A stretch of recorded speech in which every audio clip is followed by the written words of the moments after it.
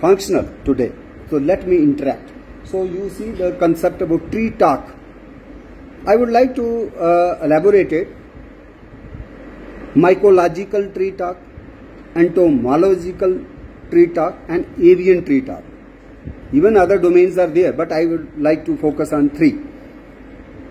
Uh, this is very handy these days, the mobile and smart classroom and digital world and we are even purchasing vegetables and even the uh, street vendor is getting that money through the Google Pay or the digital mode. You see how much revolution is there. But do you appreciate? The nature has given us the web of life underground since ages. When God created this universe and forests, but He did, He engineered the symbiosis, symbiotic relationship in the form of mycorrhiza. What is mycorrhiza? There is a fungal partner, there are fungi, fungi have the mycelial threads underground and but we see there might be some non-biological students who say how will we appreciate the mycology. The gucci you are familiar with, that's a very costly mushroom. So whatever we see above, that is just you can say the fructification, where there are spores and ultimately God has given that capacity, it will perinate, it will multiply, that spore will germinate and a new, uh, that fungus will come up. But underground existence of threads is unique for the better health of the forest. How? Because these so-called mycelial threads, they are very, very tiny, minute, microscopic and through them, one tree is sending messages. Not only messages, even the nutrition. Some say sodium is deficient or calcium is deficient in one particular tree, but other tree is having more of it. Maybe nitrogen fixing tree is there. Somehow it is having some phosphorus in surplus. And other nearby, say maybe the same young ones of the same tree. So God has created that kind of harmony and social give and take. So whatever is there, that is distributed to the which particular tree is having the short supply of that particular element. So whatever we see, we see the trees, forests, if sometimes they are ailing these days, sometimes we see they are fungal attack, pest attack. Why it is happening? Because they are losing the vigor, resilience. And that resilience comes from the wood wide web also known as fungal internet. So, human internet, we have revolutionized no doubt our information technology, but God has already created the internet for in the natural world. So, we have their mushrooms which are poisonous, which are non-poisonous and some are there medicinal. People are having livelihood source also, nutritional source. So, so many times I have visited this uh, area and on way to Machail, so many uh, occasions, the local uh, kids, they are selling also those mushrooms and even sometimes provided in the langar, that community feast. And beauty is, our locals have the local names for those particular dhingri. Uh, you have, for example, soy, uh, uh, solai, solai, solai honey. Now it got the geographical indication. That particular honey got the tag this is a reputed uh, or good quantity, uh, quality honey which is produced only in this Ramban uh, Doda Chenab uh, valley. And the particular bee, honey bee has preference for particular shrub. Which is that shrub? Solai. In scientific or botanical jargon, it is named as Isodon rugosus. But it, there in taxonomy, so many names are coined. About 20 years back when we were a young officer, that, at that time it was called a Rabdosia rugosa. And even before that, 50 years back, it was known as Plectranthus rugosus. So old forest stalwarts will say it is a Plectranthus uh, rugosus. Other, the young officers who are still in service, they will say it is uh, Plectranthus, uh, this, um, um, which was that, uh, Rabdosia rugosa and the young today's lot like you, you will say it is Rabdosia rugosa. So in uh, this uh, scientific world, names are changing. because of their uh, own principle. But the local name is always there. Solai, it has not changed, it will not change. So we have to understand the local traditional knowledge where the people have already connected honeybee with the Solai. Without knowing the ecological principles and scientific, the way we think today, they have already established this link between honeybee and some of the best honey yielding plant and one is this plant which is called as Isodon rugosus, locally called as Solai. Different region have different names. It is also called Pumar. The Gujar Bakarwal say Pumar because it also kills fleas. So I have seen the Bakarwal ladies also putting the branches of this Isodon rugosus uh, during night time so that fleas are repelled. They don't bite you and they have a sound sleep. So it is also called a Pumar or Pisumar. This is that's another name. Another bush shrub which is very common in this belt and even in Kashmir, even in Himachal Pradesh. Kashmiris coined a term for that particular shrub. Otherwise, scientifically they are called Viburnum grandiflorum. But I am more inclined towards local knowledge and local names. Local names have the wisdom. And they, without any degrees and without any uh, college and university higher education, they could appreciate the natural world and natural interrelationships. So this is another second example which I am quoting. Viburnum grandiflorum, that is botanical name. But locally in Kashmiri it is called Kulmansh. A kul means a shrub, tree, and mansh means honey. Again something linked with honey. What is there? This particular shrub, which is also found in Bhaderwah and even in your Desa area and this uh, Lal Draman. That is uh, basically here sometimes Gujars called it a guch or in Bhaderwah area it is called a tyond or telda. There are different uh, local variations. But in Kashmiri kulmansh means honeybee in the month of February when almost there is a snowfall in that higher reaches you don't have flower. First shrub to flower is kulmash. And honeybees feels happy to see the flower at that time when there are no flowers, when almost everywhere snow. So how our uh, forefathers coined the name for that shrub and that link was highlighted. It has it is serving the apiary. It is serving the honey uh, making process by the honeybee and honeybee is the best pollinator. More than 80% of our fruits, vegetables, the crops are pollinated by honeybees and we are not taking care of honeybees. When uh, Monlal uh, referred about this pollution, we just had the problems, your practical problem you were discussing. Question is why we allowed it to happen, where now we are experiencing this uh, uh, pollution. And this pollution is also taking a toll of honeybee. And if honeybee colonies are being destroyed with the process of insecticides, pesticides, pollution, even deforestation, even forest fire, many other factors, ultimately reducing the population of honeybees means reducing the pollination. So many fruits, flowers will remain without pollination. Without pollination means no seed set, no fruit formation. With that, you will say less food production. So you see our more than 600 year old Kashmiri saint, Sufi saint, how he got this idea. Sheikhul Alam, when he gave us a quote, unposteli one post, means as long as there will be forest, there will be food security. Agriculture is subservient to forest. 600, more than 600 somewhere in 1400, uh, 15th century, he was born. And he had the roots. The parents were in this Kishtwar area. Ultimately migrated to uh, uh, Kaimu in uh, this Kulgam area. And then he also roamed in the uh, Charare Sharif area, that uh, Doodhpathri area. And today also people have that kind of revered trees, trees with kind of faith. Some sacred threads are tied because here Sheikhul Alam visited. God knows whether, because it's a 600 year old story. But whatever our forefathers had that kind of belief, that was passed on safely to the younger generations and even after four, 600 years, or more than that, we are still celebrating the Ursa dedicated to Sheikhul Alam. And whatever he has quoted, we are still paying our reverence to the great Sufi saint.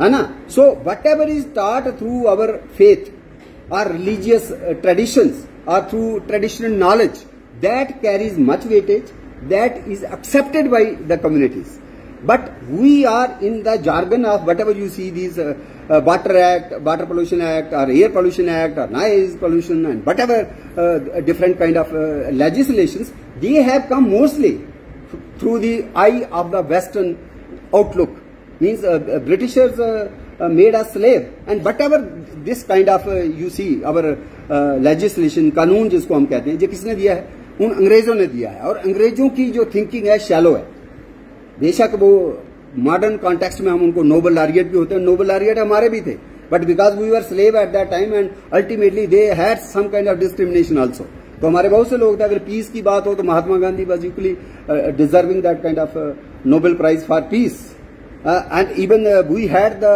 our Jagdish Chandra Bose after home we have the botanical garden in Calcutta. Uh, he is deserved because he uh, uh, hypothesis, uh, gave the hypothesis that these uh, plants have the kind of sensation, they have the feeling.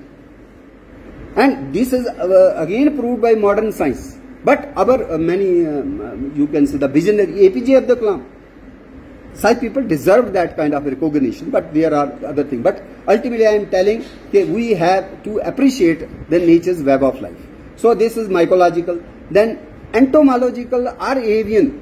We have so many, uh, you can say, the birds, and many birds are endemic. Endemic means they are found only in some particular uh, uh, area. For example, in Indian context, we have the great Indian bustard. Sometimes it is asked even in the competitive exams, UPSC or PSC. So this is the bird which uh, whose population is hardly 200, even less than 200. And what we did, we made uh, electric uh, high voltage wires to run through here. Then we put up, established the windmills for harnessing the wind energy in that area. I am telling Maharashtra, Gujarat, and uh, Rajasthan. And ultimately, this particular uh, bird, great Indian bustard, got that kind of decimation of the population, and today it is considered as the critically endangered bird of India. And there was a Dr. Salim Ali who advocated at the time of declaration of the national bird for India. He advocated, he championed, he fought, he tried his best to declare the great Indian bustard as the national bird of India. But then peacock or peafowl uh, won the that contest. Why? Because uh, peafowl is more elegant. If you see the colors are so beautiful, especially the male, so beautiful. And even its dances, uh, uh, also the folk dance in northeast. In some of the tribal belt, we see there's a uh, dance which has the shape of that uh, peafowl feathers. So uh, history or even literature and even in music, it was revered uh, bird.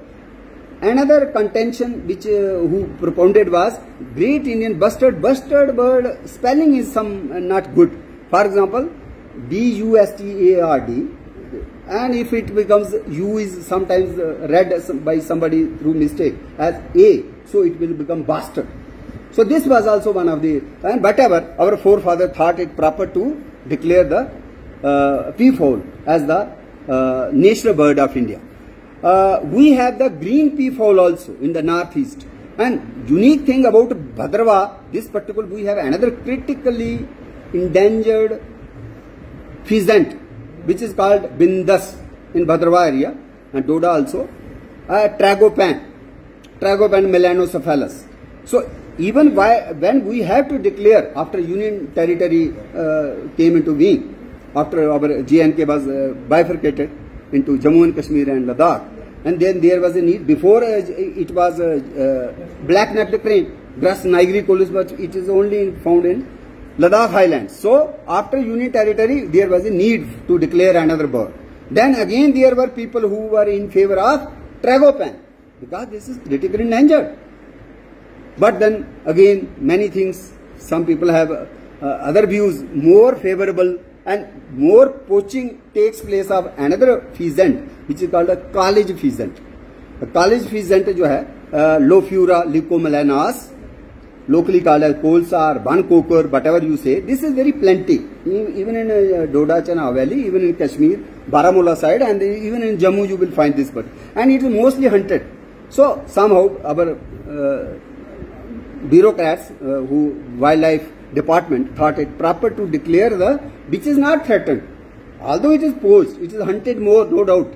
But then it is in plenty, its population is not to that danger level low.